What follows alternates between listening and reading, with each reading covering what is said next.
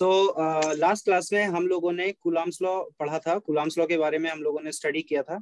और अगर आपको याद होगा कुलाम्स लॉ तो मैंने आपको कुलाम्स लॉ के बारे में क्या बताया था कि जैसे अगर हमारे पास मान के चलते हैं कि ये दो पॉइंट चार्जेस है, एक पॉइंट चार्ज क्यू वन है, एक पॉइंट चार्ज क्यू टू है।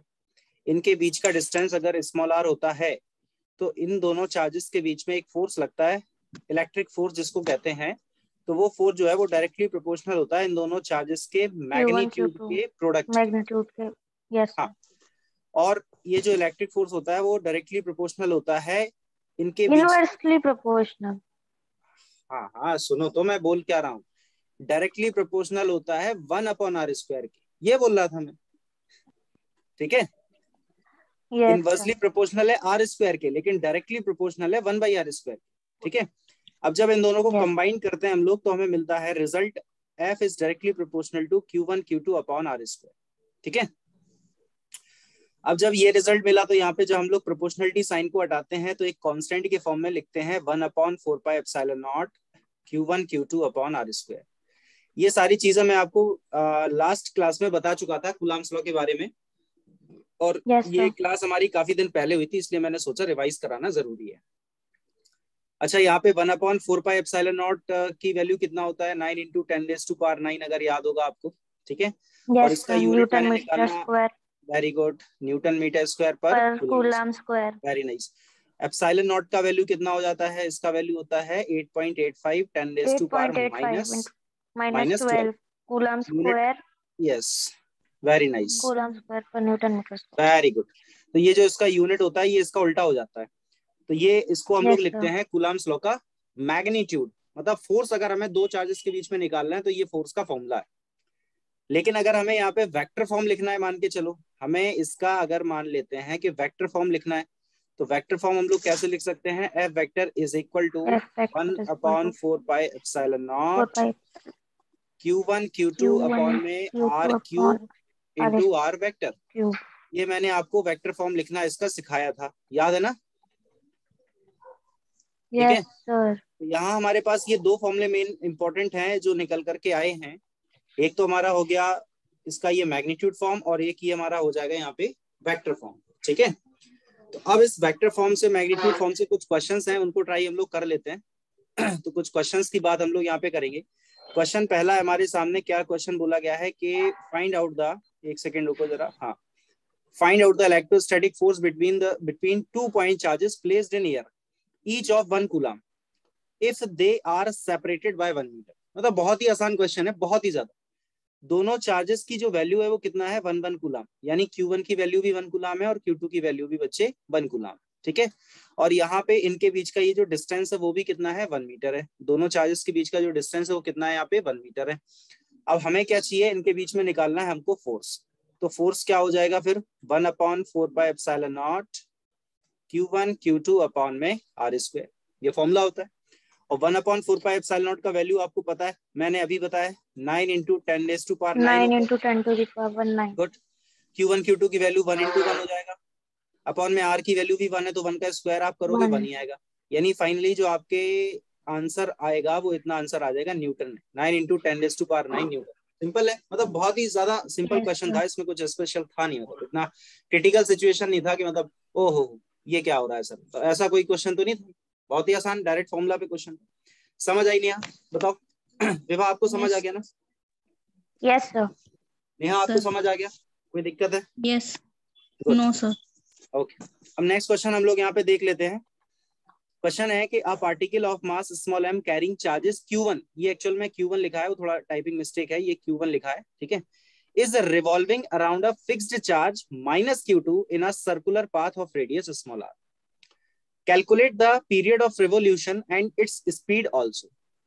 अब यहाँ पे क्या चल रहा है मेरी बात को गौर से सुनना यहाँ पे बोला गया है कि एक सर्कुलर पाथ है ठीक है एक चार्ज Q1 है क्या बोला गया particle of mass small M carrying charge Q1 is revolving around a fixed charge minus Q2 in a circular path of radius small r. यानी मान के चलो कि यहाँ पे कहीं माइनस क्यू चार्ज रखा है माइनस क्यू माइनस क्यू और जो चार्ज एक और है आ, कितना है? क्यू वन चार्ज है वो इसमें ऐसे गोल गोल घूम रहा है तो सर्कुलर पाथ पे वो ऐसे सर्कुलर मोशन कर रहा है मान। अब हमसे वो पूछ क्या रहा है? Period of revolution period of revolution का मतलब क्या होता है? टाइम पीरियड पूछा उसने। उसने हम लोगों से टाइम पीरियड पूछ दिया कि भैया टाइम पीरियड कितना होगा? सेकेंड पार्ट में पूछ रहा है स्पीड कितना होगा? तो अब यहाँ पे थोड़ा सा यूज़ हो रहा है सर्कुलर मोशन का। थोड़ा सा नहीं ज़्यादा यूज़ हो रहा है। सर्कुलर मोशन के अगर आपको फॉर्मुले याद हो हालाँकि अभी मैंने सर्कुलर मोशन नहीं पढ़ाया है। अभी पढ़ेंगे उसको सर्कुलर मोशन को। लेकिन सर्कुलर मोशन के कुछ फॉर्मुले जो आपको बेसिक फॉर्मुले है वो याद होने चाहिए। जैसे साइंटिपिटल फोर्स होता है एक है ना? जैसे साइंटिपिटल फोर्स का फॉर्मुला अगर आपको याद होगा क्या लिखते हैं हम लोग? M V square upon R यही फॉर्मुला होता है सेंट्रीफ्यूगल फोर्स का। सेंट्रीपिटल फोर्स कौन सा होता है? जो अंदर की तरफ़ रखता है। जब भी कोई पार्टिकल सर्कुलर पाथ पे मोशन करता है तो उस सर्कुलर पाथ के अंदर की तरफ़ रेडियस की तरफ़ एक फोर्स काम करता है जिसको हम लोग कहते हैं सेंट्रीपिटल फोर्स और रेडियस के बाहर की तरफ़ अलोंग द रेडियस लगेगा लेकिन outside the sphere outside the circular path तो उसको हम लोग कहते हैं सेंट्रीफ्यूगल सेंट्रीफ्यूगल ठीक है? तो अब जैसे ये चार्ज पार्टिकल जो है वो इस सर्कुलर पाथ पे इसके चारों तरफ़ ऐसे ऐसे घूम रहा है लगातार घूम रहा है। तो हमें पहले टाइम पीरियड निकालना है। टाइम पीरियड का मतलब होता है कि एक ऑसिलेशन करने में कितना टाइम लगा। यानी अगर ये Q1 चार्ज पॉइंट ए से स्टार्ट करता है तो उसको ए तक ही आने में कितना टाइम लगेगा? एक ऑसिलेशन में उसको हम लोग कहते हैं टाइम पीरियड ठीक है? तो क्या सिचुएशन होगी? अब आपको ये तो पता है कि यहाँ पे सर्कुलर पाथ पे पार्टिकल चल रहा है तो सेंटीपिटल फोर्स क्या हो जाता है? M V square upon R is equal to किसके बैलेंस में किसके होगा? देखो एक ये माइनस का चार्ज है एक ये प्लस का चार्ज है। जस्ट अभी हम लोगों ने कुलाम्स लो पढ़ा। तो उसको ये बैलेंस करेगा। That is one upon four pi epsilon naught Q one Q two upon में आर स्क्वायर ये होगा कि नहीं? ठीक है? Yes, हाँ। तो अब यहाँ पे हम देख सकते हैं कि एक आर से एक आर तो कैंसिल हो रहा है। रेडियस कैंसिल होगी। हम्म। ठीक है? अच्छा हम्म। अब अगर आपको ये लग रहा हो कि सर यहाँ पे ये Q2 चार्ज तो नेगेटिव है आपने माइनस साइन क्यों नहीं लिया? अरे भाई मैंने अभी आपको बताया था कि चार्जेस का मैग्नीट्यूड लेते हैं। चार्जेस का क्या लेते हैं? मैग्नीट्यूड यस ये क्या हो जाएगा आपके सामने? M V square is equal to one upon four pi epsilon naught अच्छा क्यू वन क्यू टू की वैल्यू जो लिखी है वो स्मॉल चार्जेस गिवन है हमें। तो स्मॉल ही लिख देंगे और स्मॉल अपॉन में आर तो यहाँ से तो हमें क्या मिल जाएगा? स्पीड हमें स्पीड निकालना था तो यहाँ से हमको स्पीड मिल जाएगा। तो ये कितना आ जाएगा आप समझ सकते हो? One upon four pi epsilon naught Q one Q two upon में एम इंटू आर अब यहाँ से अगर आप स्क्वायर को हटा दोगे तो यहाँ पे अंडर रूट लगा लो। लो आंसर आ गया। आंसर आ गया? और मैंने आपसे yes. बोला था कि फिजिक्स में एक चीज़ को हमेशा याद रखना है कि जो भी चीज़ हमें गिवन होगी जो भी हमें गिवन होगा आंसर उसी में आना चाहिए। जो भी हमको गिवन होगा आंसर उसी में आना चाहिए। अब देखो आप ये जो आपका आंसर आया है Q1, Q2, M और R में तो सब कुछ हमें गिवन है कि नहीं? देखो मास भी गिवन था Q1 भी गिवन था ठीक है? Q2 भी गिवन था और रेडियस भी गिवन था तो सही है हमारा? Yes, अब हमें निकालना टाइम पीरियड अब टाइम पीरियड हम कैसे निकालते हैं? देखो टाइम पीरियड निकालने का तरीका क्या होता है? इसका फॉर्मूला हम लोग क्या लिख देते हैं? Two pi R upon V ये लिखते हैं टाइम पीरियड निकालने का। भाई सर्कुलर पाथ अगर पार्टिकल कवर करेगा तो सर्कुलर पाथ पे पार्टिकल कितनी डिस्टेंस कवर करेगा? एक सर्कुलर पाथ कंप्लीट करने के लिए पार्टिकल कितनी डिस्टेंस कवर करता है? Two pi r circumference circumference periphery जिसको कहते हैं। अगर इसका रेडियस मान के चलो स्मॉल आ रहा है तो एक ऑसिलेशन करने में कितनी डिस्टेंस कवर होगी यहाँ पे? टू पाई आर और यहाँ पे वो जो घूम रहा है वो कितनी स्पीड से चल रहा है? वी स्पीड से। तो आपने ये फॉर्मूला तो पढ़ा है ना speed equal to distance upon time yes sir ये तो मैंने पढ़ाया है। और नहीं भी पढ़ाया होता तो ये बेसिक फॉर्मूला आपको पता होना चाहिए। तो यहाँ से टाइम को हम लोग क्या लिख सकते हैं? Distance upon speed distance upon speed लिख सकते हैं। तो डिस्टेंस कितना है? टू पाई आर स्पीड कितना है? वी है। अब ये जो वी आपने कैलकुलेट किया इस वी को आप यहाँ पे उठा के रख दो। कैलकुलेशन करो आंसर आ गया बस। अब कैलकुलेशन वाला पार्ट आपके हवाले। कैलकुलेशन वाला पार्ट आप करना इसका। कर पाएँगे बताओ? हाँ या ना? यस तो नेक्स्ट क्वेश्चन जो है हमारा, उस क्वेश्चन में बोला गया है कि आ पॉइंट चार्ज यहाँ बोला गया है a point charge Q A hundred microcoulomb is placed at a point one zero two metre and another point charge Q B two hundred microcoulomb is placed at point four four two metre find first part है magnitude of electrostatic interaction force acting between them तो सबसे पहले तो आप ये बता दो कि इन दोनों चार्जेस के बीच में अट्रैक्शन फोर्स लग रहा है या फिर रिपल्शन लग रहा है? ये आप मुझे बताओ। रिपल्शन वेरी नाइस क्योंकि रिपल्शन इसलिए लग रहा है क्योंकि इनकी पोलैरिटी सेम है। दोनों पॉजिटिव चार्ज है और like charges repel each other ये मैंने आपको बताया था कि लाइक चार्जेस जो होते हैं वो हमेशा एक दूसरे को क्या करते हैं? रिपेल करते हैं। रिपेल तो यहाँ पे अगर देखो सीधी सी बात है कि ये जो ए पॉइंट का हमें कोऑर्डिनेट दिया है ये टू डायमेंशन में दिया है देखो वन कॉमा टू हालाँकि इसका वाई एक्सिस हम्म। वाला ज़ीरो है लेकिन है तो वो एक्स वाई जेड तीनों में ना वाई वाला ज़ीरो है। और ये जो बी वाले पॉइंट का हमें लोकेशन दिया है बी वाले पॉइंट का जो हमें दिया गया है वो है फोर फोर टू यानी एक्स वाई जेड तीनों में। तो इसका मतलब है कि इस तरह से अगर हम लोग कोई डायग्राम बनाने की कोशिश करते हैं मान लेते हैं कि ये पॉइंट ए हो गया और यहाँ पे कहीं पॉइंट बी हो गया। ए पॉइंट का जो कोऑर्डिनेट है वो कितना है? One comma zero comma two B point का जो कोऑर्डिनेट है वो है four comma four comma two ठीक है? ऑरिजिन होगा कहीं कहीं ना कहीं तो ऑरिजिन होगा। कहीं ना कहीं तो होगा ना? Zero comma zero comma zero ठीक है? अब हमसे पूछा है कि मैग्नीट्यूड ऑफ़ इलेक्ट्रोस्टैटिक इंटरेक्शन इसका मतलब है, देखो पॉइंट ए पर कितना चार्ज रखा हुआ है? हंड्रेड माइक्रोकुलाम पॉइंट बी पर कितना चार्ज रखा हुआ है? टू हंड्रेड माइक्रोकुलाम हमें यहाँ पे फाइंड क्या करना है? फोर्स तो पहला वाला जो पार्ट है पहले वाले पार्ट में तो हमें मैग्नीट्यूड ही निकालना है। तो यार मैग्नीट्यूड निकालने के लिए हम क्या करेंगे? One upon four pi epsilon naught Q one Q two upon में आर स्क्वायर अब इन दोनों पॉइंट के बीच का डिस्टेंस हमें चाहिए। इन दोनों पॉइंट के बीच का डिस्टेंस हमको चाहिए। तो ये फॉर्मूला आप लोगों ने पढ़ा होगा शायद टेंथ क्लास में। मैथमेटिक्स में टेंथ टेंथ में तो मैथ पढ़ी है ना अपन ने? टेंथ में भी सर बायो yes. था टेंथ में भी बायो था। टेंथ में सर मैथ तो पढ़ी नहीं, बायो लिए थे बायो था ऐसा तो था नहीं। तो अगर हमें इन दोनों पॉइंट के बीच का डिस्टेंस चाहिए तो हम लोग कैसे फाइंड करते हैं? अंडर रूट ऑफ़ ये फोर माइनस वन इसका स्क्वायर करेंगे? एक्स के कोऑर्डिनेट का डिफरेंस का स्क्वायर ठीक है? प्लस फोर माइनस ज़ीरो यानी फोर का square plus two minus two यानी ज़ीरो का स्क्वायर तो फाइनली ये कितना हो जाएगा? ये देखो four minus one three three का स्क्वायर नाइन प्लस फोर का स्क्वायर सिक्सटीन तो ये आपका फाइनली फाइव आ जाएगा। ठीक है? और ऑब्वियसली बात है कि ये मीटर में थे तो ये डिस्टेंस मीटर में ही आएगी यानी ये फाइव जो आएगा वो क्या आएगा? मीटर अच्छा दूसरी बात क्या है? दूसरी बात यहाँ पे ये है कि जो क्यू ए हमें दिया है वो माइक्रो में दिया है। तो टेन डेज़ टू पार उसको आप माइनस का सिक्स माइनस यस और क्यूबी को अपन लिख सकते हैं two hundred into ten raise to power minus का सिक्स गुलाम अब बस करना क्या है? मतलब बचा ही क्या है इस क्वेश्चन में? हो ही गया पूरा। अब तो बस कैलकुलेशन पार्ट बचा है। आपके हवाले है वो तो बतन साथियों वाला।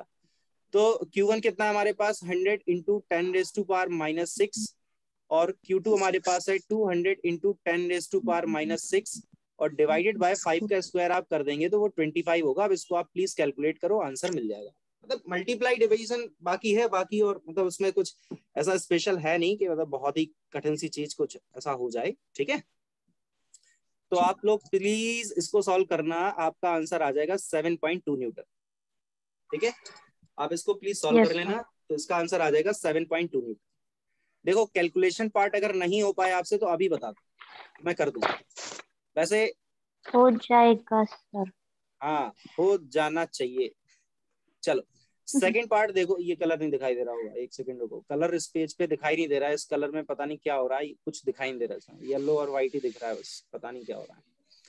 सेकंड पार्ट है फाइंड एफ़ एफ़ ए मतलब force on A due to B यानी ए पर बी ने कितना फोर्स लगाया वो कैलकुलेट करना है। And F B F B भी कैलकुलेट करना है। अब देखो वेक्टर फॉर्म में कैलकुलेट करना अब इस क्वेश्चन में हम लोग यार यूज़ करेंगे स्मार्ट मेथड इस क्वेश्चन में हम लोग यूज़ करेंगे यहाँ पे क्या स्मार्ट मेथड। कैसे?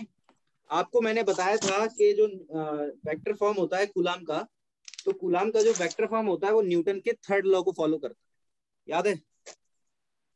ये चीज़ मैंने आपको बताई थी कि जो कुलाम्स लॉ का वेक्टर फॉर्म होता है वो न्यूटन के थर्ड लॉ को फॉलो करता है। और न्यूटन का थर्ड लॉ बच्चा बच्चा जानता है। और कल की क्लास में हम्म। हम लोगों ने विवाह आपको याद होगा कि न्यूटन का थर्ड लॉ ही परसों डिस्कशन किया था। मतलब अभी एक दो दिन से हम लोग वही डिस्कशन कर वही चैप्टर तो चल रहा है हमारा इलेवेंथ वाले हम्म। क्लास में। हमारा वही चैप्टर चल रहा है न्यूटन लॉस ऑफ़ मोशन तो हम लोगों ने ये डिस्कशन कर लिए।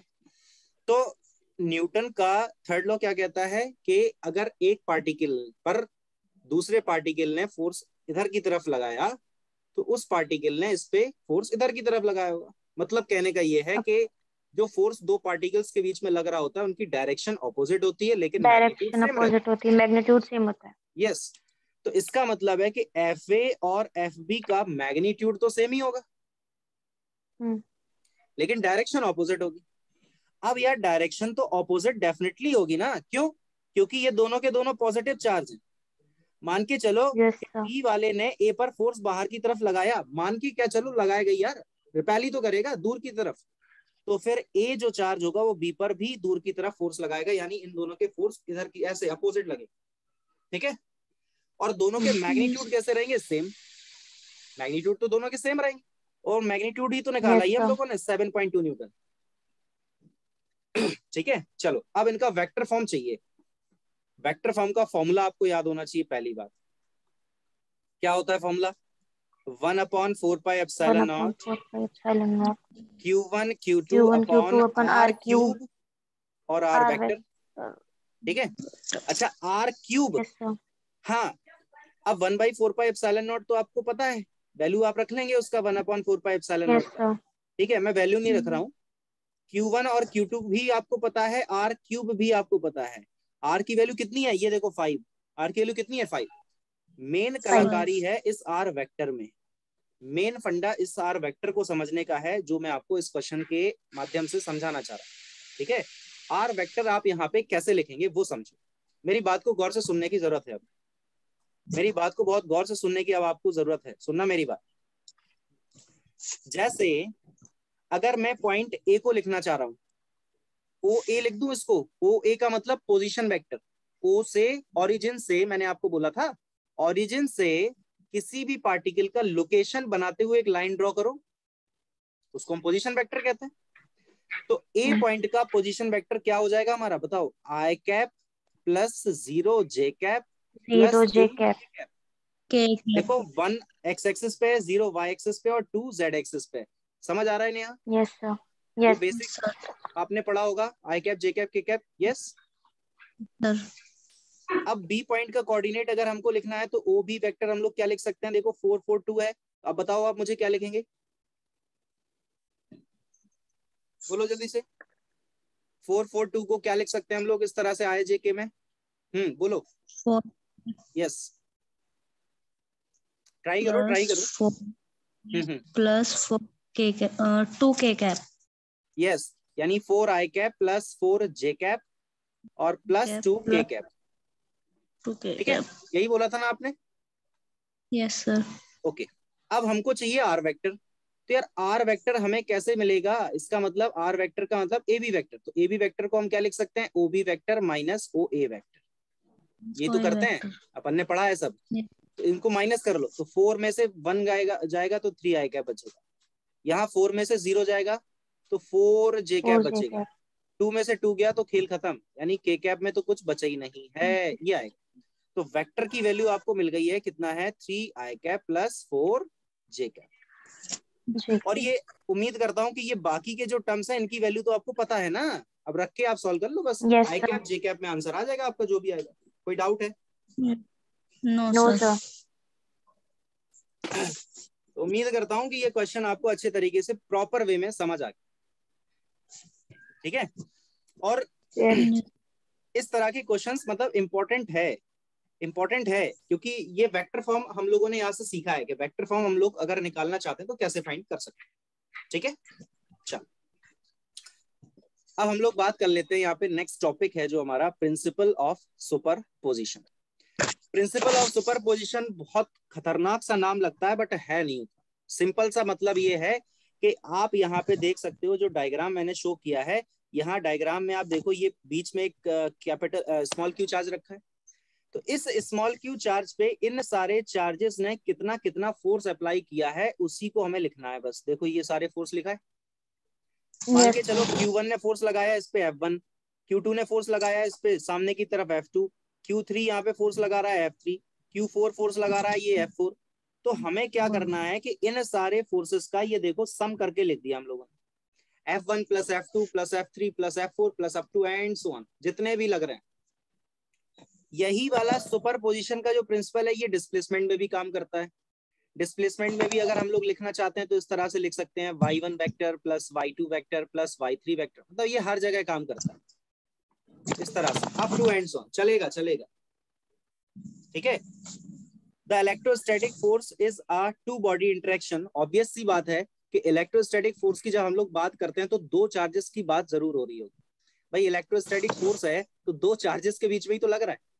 कहाँ लग रहा है? ना? इसीलिए तो बोला गया कि दो बॉडीज का इंटरेक्शन ठीक है? And electrical force between two point charges is independent of the presence और absence of other charges and so the particle of superposition is valid simple सी बातें हैं। तो force on charge particle due to number of point charges यानी किसी भी एक point charge पे लगने वाला फोर्स जो होगा अलग अलग चार्जेस की वजह से वो क्या होगा? उन सारे फोर्सेस का मतलब एडिशन इंडिविजुअल पॉइंट चार्ज तो उन सबका एडिशन करके आप लिख दो वेक्टर फॉर्म में बस आंसर आ गया। ठीक है? जैसे मैं आपको समझाता हूँ ए इस क्वेश्चन के हेल्प ठीक है? रेडी हो? यस सर गुड चलो इसको क्वेश्चन को समझते हैं क्या बोला गया है? Three equal point charges of charge small Q positive है each are moving along a circular sorry along a circle of radius capital R ये देखो एक सर्कुलर पाथ बनाया गया है। तीन चार्जेस हैं। ये Q1 मान लो इसको या तीनों सेम ही है। ये Q2 हो गया ये Q3 हो गया कुछ भी कह दो। R रेडियस है। अब point charge minus two Q ये देखो इसके बीच में सेंटर पे माइनस टू क्यू ये येलो कलर इस व्हाइट बैकग्राउंड पे दिखता है आपको? यस yes, सर तो इसके सेंटर पे माइनस टू क्यू चार्ज रखा है is also place at the centre of the circle as shown in the figure जैसा हमें डायग्राम में दिख रहा है। If charges are revolving with constant and same speed in the circle then calculate the speed of the charges मतलब बेहतरीन question है, बेहतरीन। अब सुनना मेरी बात। क्वेश्चन में हमसे ये बोला गया है कि ये जो चार्जेस आपको यहाँ पे दिखाई दे रहे हैं, इन सारे तीनों चार्जेस की स्पीड सेम है। स्पीड इनकी कैसी है? सेम है। और यहाँ सेंटर पे एक चार्ज रखा है माइनस टू क्यू अब आपको देखो कैलकुलेट क्या करना है? आपको कैलकुलेट करना है स्पीड ऑफ़ द चार्जेस आपको यहाँ पे कैलकुलेट करना है इन चार्जेस का स्पीड कितना होगा। ठीक है? अब ऑब्वियस सी बात है कि सर्कुलर पाथ पे अगर चार्जेस मोशन कर रहे हैं तो मैंने अभी सर्कुलर पाथ का एक क्वेश्चन आपको कराया। जस्ट अभी कराया थोड़ी देर पहले। उसमें मैंने आपको बताया था कि इलेक्ट्रोस्टैटिक फोर्स को बैलेंस कौन करता है? सेंटिपिटल फोर्स या हम सेंटिफ्यूगल फोर्स भी कह देंगे कोई फ़र्क नहीं पड़ता। चलेगा ना? यानी M V square upon R in short ठीक? चलो। इसको हम लोग यहाँ पे देखते हैं। यहाँ मैं डिटेल में इसको समझा सकता हूँ। सुनो। ये वाला चार्ज कैसा है? पॉजिटिव ये वाला और वो वाला कहने से अच्छा है कि इनको मैं नाम दे देता हूँ। ए पॉइंट इसको बोल देता हूँ मैं इसको बी बोल देता हूँ और इसको सी बोल देता हूँ। ठीक है? अब पॉइंट ए और बी को देखो आप। दोनों के दोनों सेम चार्जेस हैं। मैग्नीट्यूड भी सेम पोलैरिटी भी सेम अब आप मुझे बताओ ए और बी के बीच में अट्रैक्शन है या रिपल्शन रिपल्शन रिपल्शन ऑब्वियसली मतलब इतना क्या सोचना उसमें तो ए ने बी पर जो फोर्स लगाया होगा वो इसी लाइन के अलोंग ही तो लगाया होगा ये जो लाइन आपको दिख रही है। तो इसी लाइन के अलोंग लगाया होगा लेकिन बाहर की तरफ़। ये देखो ये लग गया? Yes, इसे डोके इसी तरह से आप देखो कि पॉइंट सी पर चार्ज रखा है वो प्लस क्यू है। पॉइंट बी पर जो चार्ज रखा है वो भी प्लस क्यू है। हम्म? तो सी ने बी पर जो फोर्स लगाया होगा वो भी इसी लाइन के अलोंग कहीं लगाया होगा। ये लाइन के अलोंग का मतलब है कि कहीं इधर की तरफ़ लगाया होगा।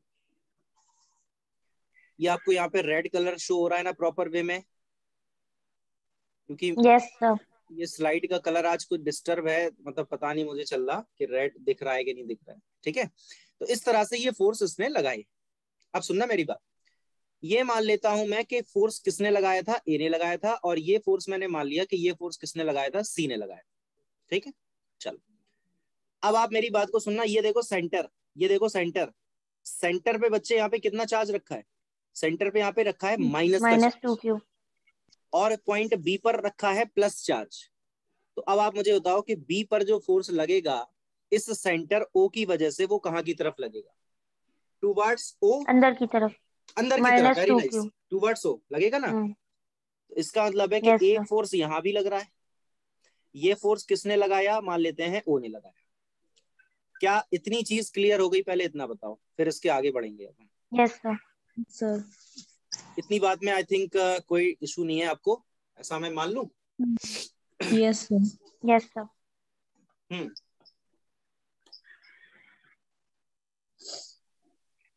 ओके वेरी गुड चलो। अब मेरी बात को सुनना गौर से आप। देखो ये हम लोगों ने बना दिया यहाँ पे पॉइंट बी ये हमारा पॉइंट बी हो गया अलग से बना लेते हैं। पॉइंट बी पर एक फोर्स यहाँ की तरफ़ लगा एफ़ ए पॉइंट बी पर एक फोर्स यहाँ की तरफ़ लगा एफ़ सी और पॉइंट बी पर एक फोर्स यहाँ की तरफ़ लगा दैट इज़ एफ़ ओ ठीक है? बहुत गौर से सुनने की ज़रूरत है बहुत ध्यान देने की ज़रूरत है। प्लीज़ ध्यान देते रहना नहीं तो खेल खत्म हो जाएगा। सुनो अब आप मुझे ये एंगल बताओ कितना है। बोलो जल्दी सिक्सटी वेरी नाइस तो आधा कितना हो जाएगा? थर्टी थर्टी थर्टी थर्टी हो जाएगा? यानी ये एंगल कितने का होगा? तीस का? थर्टी या फिर मैं ऐसा भी तो बोल सकता हूँ सुनना मेरी बात? या फिर मैं ऐसे भी तो बोल सकता हूँ कि ये एंगल कितने का है? थर्टी का? ये एंगल भी कितने का होगा? थर्टी का? हाँ या ना? थर्टी का। हाँ या ना? यस सर गुड अब एफ़ ए और एफ़ सी के कंपोनेंट हो रहे हैं देख लो आप कंपोनेंट कर सकते हैं हम। एफ़ ए और एफ़ सी के कंपोनेंट कर दो एफ़ ए का कंपोनेंट फ्री बॉडी डायग्राम मैंने सिखाया न्यूटन लॉज ऑफ़ मोशन में। उम्मीद करता हूँ नेहा शायद आपको कंपोनेंट आते होंगे आते हैं थोड़ा बहुत। नो no, सर नहीं आते हैं? चलो कोई नहीं। मैं सिखा देता हूँ आपको कंपोनेंट एक मिनट का टाइम दो आप मुझे। हाँ जी। तो यहाँ पे अब हम लोग कंपोनेंट करते हैं तो एफ़ ए का कंपोनेंट एक तो यहाँ की तरफ़ आएगा और एफ़ Yes, का एक कंपोनेंट यहाँ की तरफ़ आएगा। तो एफ़ ए का ये वाला जो कंपोनेंट है वो क्या होगा? क्या होगा बताओ? मैंने अभी आपको बताया कि जहाँ से एंगल बनेगा। F cos thirty very good ये हो जाएगा हमारा कॉस वाला। जहाँ से एंगल बनता है वो कॉस और जो बच गया वो साइन जो परपेंडिकुलर बच गया हम्म। वो साइन यानी ये हो जाएगा साइन थर्टी इसी तरह से एफ़ सी का कंपोनेंट आप करोगे तो एफ़ सी का एक कंपोनेंट यहाँ आएगा और एक एफ़ कंपोनेंट इधर आ, इधर आएगा एफ़ सी का। तो एफ़ सी का ये वाला कंपोनेंट कितना हो जाएगा? F C cos thirty thirty yes और ये वाला कंपोनेंट हो जाएगा एफ़ सी साइन थर्टी होगा ना? चलो। कंपोनेंट हो गए। अब मुद्दा क्या है हमारे सामने वो समझो। देखो आप ए पॉइंट से बी पॉइंट को देखो आप ए से बी को देखो और फिर आप बी से सी को देखो। और आप मुझे ये बता दो कि क्या ये दोनों डिस्टेंसेस सेम नहीं है? ए से बी की डिस्टेंस देखो आप और बी से सी की डिस्टेंस देखो सेम है ना? यस सर यस सर मतलब फील कर पा रहे हो आप? ये दोनों डिस्टेंस कैसी है? सेम है। अब आप देखो बी और ए के बीच में जैसा फोर्स लग रहा है जो दो चार्जेस रखे हैं ए और बी के बीच में क्या वही सेम चार्जेस बी और सी के बीच में रखे हैं? देखो। यस सर रखे हैं ना. तो इसका मतलब Yes, है कि ए और बी के बीच में लगने वाला जो फोर्स है वो इक्वल होगा बी और सी के बीच में लगने वाले फोर्स के। क्यों? क्योंकि जो फोर्स है वो दो फैक्टर पे डिपेंड करता है। डिस्टेंस पे और दोनों चार्जेस के प्रोडक्ट पे। डिस्टेंस भी सेम है दोनों चार्जेस का प्रोडक्ट भी सेम है तो फोर्स भी सेम हो जाएगा। यानी एफ़ ए और एफ़ सी तो सेम हो गए। अब जब एफ़ ए और एफ़ सी सेम हो गए तो फिर इनके ये वाले कंपोनेंट तो कैंसिल हो गए एक दूसरे से। क्यों? क्यों? क्यों? क्यों? क्योंकि ये ऑपोजिट है। देखो आप। क्यों? कि ये ऑपोजिट है एक दूसरे से। है कि नहीं अपोजिट और ये वाले जो दोनों कंपोनेंट हैं ये दोनों एक ही डायरेक्शन में थे तो ये दोनों हम क्या कर देंगे? ऐड कर देंगे। वो तो वैसे ही ऐड हो रहे थे। ठीक? लेकिन Hmm. अब मेरी बात को सुनो। अब यही वाला जो डायग्राम है वो कैसा बन गया? ये देखो मैंने पॉइंट बी बना दिया। एक फोर्स ऊपर की तरफ़ लग रहा है। कितना? बताओ कितना लग रहा है ऊपर की तरफ़? F C cos thirty plus F A cos thirty लग रहा है ना? यस सर और आपको पता है कि एफ़ ए और एफ़ सी इक्वल है तो क्या मैं इसको ऐसे लिख दू? Two F A cos thirty yes sir या फिर yes, मैं इसको two F C cos thirty भी लिख सकता था? अरे भाई ए और Hmm. बी बराबर ही है तो कुछ भी लिख दो। और ए और की सी तरफ़ बराबर है। हाँ हाँ सॉरी ए और सी बराबर है। तो हम एफ़ ए लिख हैं या फिर एफ़ सी लिखते हैं एक ही बात है। और नीचे की तरफ़ फोर्स लग रहा है वो लग रहा है ओरिजिन पे। क्या इतनी बात क्लियर हो गई आपको? यस सर तो मुझे नहीं लगता कि इतनी बात में कोई डाउट है। यस सर अब जब इतनी बात आपको क्लियर हो गई और हमें यहाँ इस डायग्राम से बिल्कुल साफ़ साफ़ पता है कि सारे के सारे चार्जेस जो हैं तीनों के तीनों चार्जेस जो हैं वो इस माइनस टू क्यू चार्ज के चारों तरफ़ एक सर्कुलर पाथ पे मोशन कर रहे हैं। दैट इज़ मैं ये कह सकता हूँ कि एक सेंट्रीपिटल फोर्स भी लग रहा होगा। ठीक है? तो हम इसमें अगर इक्वेशन बनाना चाहें तो क्या हम इक्वेशन ऐसे लिख सकते हैं? F naught minus two F A cos 30 is equal to mv square upon r M B square upon R लिख सकते हैं ना? यस सर भाई इन दोनों फोर्सेस का रिजल्टेंट का क्या होगा? इन दोनों का डिफरेंस क्योंकि ये ऑपोजिट है। और वो डिफरेंस ही तो इक्वल किसके होगा? M B square upon R के। तभी तो ये चार्जेस बैलेंस है सारे के सारे। तभी तो वो घूम पा रहे हैं। नहीं तो वो अंदर की तरफ़ अट्रैक्ट ना हो जाते क्योंकि माइनस का टू Yes, चार्ज रखा है। अब यही तो है हमारा क्या? प्रिंसिपल ऑफ़ सुपरपोजिशन देखो मैंने हर एक फोर्स को देखो यहाँ पे एड सब्ट्रैक्ट करके लिख दिया ना। तो यही तो है प्रिंसिपल ऑफ़। सुपरपोजिशन ठीक है? अब यहाँ पे बात आती है एफ़ नॉट कितना है? एफ़ ओ कितना है? तो यार एफ़ ओ तो निकाल ही लोगे आप। एफ़ ओ कितना हो जाएगा? One upon four pi epsilon naught मैंने के लिख दिया उसको, ठीक है? क्यू वन कितना होगा? टू क्यू क्यू टू कितना होगा? क्यू और डिवाइड में ये डिस्टेंस तो डिस्टेंस तो ये रेडियस है। तो ये देखो एफ़ ओ आ गया। इसके बाद अगर हमें एफ़ ए लिखना है एफ़ ए और एफ़ सी तो इक्वल ही है तो एफ़ ए को हम क्या लिखेंगे? के क्यू वन कितना है? क्यू क्यू टू कितना है? क्यू और ये डिस्टेंस आप फाइंड कर ही लोगे। आपको ये एंगल वगैरह तो पता है ना? अरे भैया सर हाँ तो ये एंगल वगैरह आपको पता है तो ये डिस्टेंस तो कैलकुलेशन करना आपका बाएँ हाथ का खेल हो गया ना ये देखो। कर पाओगे? इस लाइन को आगे बढ़ा दो। हम्म, एक काम sir. करो एक काम करते हैं इस डायग्राम को थोड़ा मैं क्लियर कर देता हूँ एक मिनट रुको जरा। अब तो ये डायरेक्शन वायरेक्शन आपको सब समझ में आएगी ना? Yes हाँ जी। डायग्राम को मैंने थोड़ा सा साफ़ कर दिया अब थोड़ा सही रहेगा। देखो यहाँ इस लाइन को आप आगे बढ़ा सकते हो। ये पूरा एंगल कितने का है? सिक्सटी का ठीक है? हाँ अब आपको यहाँ पे इस इसकी वैल्यू कैलकुलेट करना है आपको इस लाइन की। कर लेंगे ना आप ठीक है? यस सर ओके तो यहाँ से आप ये डिस्टेंस को मैं स्मॉल आर लिख दे रहा हूँ फ़िलहाल में ठीक है? जो भी डिस्टेंस होगा आप उसको चेक चेक आउट कर लेना। तो एफ़ ए का वैल्यू आपका यहाँ से आ जाएगा। अब आप ये एफ़ नॉट और एफ़ ए का वैल्यू रख दो आपको यहाँ से स्पीड नहीं मिल जाएगा बताओ। बचा क्या है उस क्वेश्चन में? इस क्वेश्चन में मतलब कुछ स्पेशल बचा है क्या? सारा तो काम हो ही गया ना। वी निकालना है। वी तो आ ही जाएगा। वी निकालने में अब कला, कलाकारी कहाँ बची है तो आ ही जाएगा वी अब तो। आ जाएगा कि नहीं? यस सर और मैं इसका आपको आंसर बता दे रहा हूँ कि आंसर इसका कितना आएगा। मैं लिख दे रहा हूँ इसका answer under root of K Q square K का मतलब one upon four pi epsilon naught okay नहीं तो परेशान हो जाओ। ये सर के कहाँ से आ गया इस क्वेश्चन में? के तो कहीं था ही नहीं सर और two minus one upon under root of three ये आंसर मैं इसलिए बता रहा हूँ आपको क्योंकि आपके हवाले है अब ये क्वेश्चन मतलब वही ठीक है? अब इसको आगे आप प्रोसीड करो और आंसर इतना आना चाहिए। मतलब एक बार आंसर पता चल जाए तो फिर तो क्वेश्चन हो जाता है सॉल्व क्यों? हो ही जाता है। आंसर बता दो सर। क्वेश्चन तो कर देंगे हम। क्लियर हो गई बात? यस सर बताओ नेहा कोई दिक्कत है? कोई डाउट सर एक बार और रिपीट कर दीजिए। ओके श्योर देखो मैं यहाँ पे क्या बता रहा था आपको? मैंने आपको यहाँ पे ये बताया कि जैसे ये सारे चार्जेस हमारे पास रखे हैं। मैंने मान लिया ये ए पॉइंट है ये बी पॉइंट है ये सी पॉइंट है। हो सकता है पिछले वाले डायग्राम में मैंने कोई और पॉइंट माने हो मुझे याद नहीं है। तो पॉइंट का कोई इशू नहीं है समझ में आना चाहिए।